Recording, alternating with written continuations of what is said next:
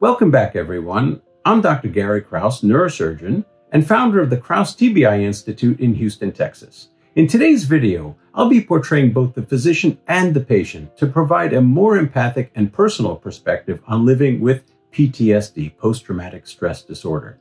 Often, information about mental health conditions like PTSD is presented in a clinical and detached manner through lectures or bullet point presentations. But this approach can sometimes fail to capture the true emotional and physical toll that PTSD can take on a patient's daily life. By acting as both the patient and the physician, I aim to humanize the struggles faced by those with PTSD, making it more relatable and easier to understand for everyone. This approach will hopefully foster a deeper sense of empathy and compassion, encourage more open conversations about mental health, and ultimately help to break down the stigma associated with PTSD. Hi, I'm Alex, and I've been dealing with PTSD for a while now, and I'm here to share my experience. Thank you, Alex. Can you start by telling us about a typical day for you? Sure. Mornings are usually the toughest because I often have nightmares. So I usually wake up feeling anxious and it kind of sets the tone for the whole day.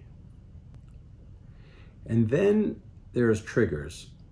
They can be anywhere in a song, a smell, even a random conversation. It's like this sudden wave that drowns me back into the past. I can physically feel my heart pounding and it's hard to catch my breath. I can only imagine how overwhelming that must feel. And I guess that impacts your daily interactions and activities. Definitely. I get anxious around people. I'm always afraid I'll have a panic attack or a flashback in public. So I end up avoiding social situations, which makes me feel isolated. And even when I am with people, I find it hard to concentrate because I'm always feeling on edge. I can see how that can be really challenging. It's completely understandable to feel that way. Have you noticed any physical symptoms associated with your PTSD? Yes, absolutely. I often feel and experience headaches, fatigue, even sometimes chest pain. It's really surprising how a mental health condition can affect your physical well being also. That's very true. PTSD can manifest both mentally and physically. It's so important to take care of both aspects of our health. What are some common misconceptions about PTSD that you've encountered? Yeah, some people think PTSD only affects soldiers or that it's just about having flashbacks, but it's so much more than that. It affects your daily life, even relationships, and your physical health too. Yes, that's a common misconception. PTSD can affect anyone who's experienced a traumatic event, and it impacts multiple aspects of one's life. Now, what are some self care strategies that you find helpful?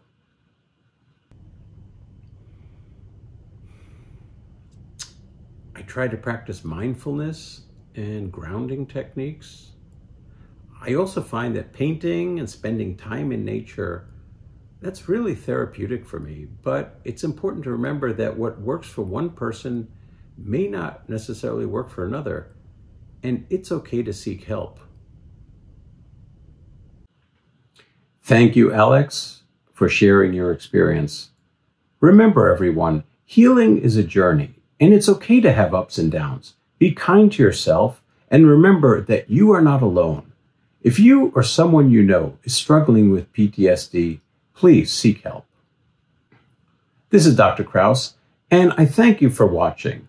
If you found this video helpful, please hit the like button and subscribe to the channel, and leave your comments below. I look forward to seeing you soon. Thank you for watching.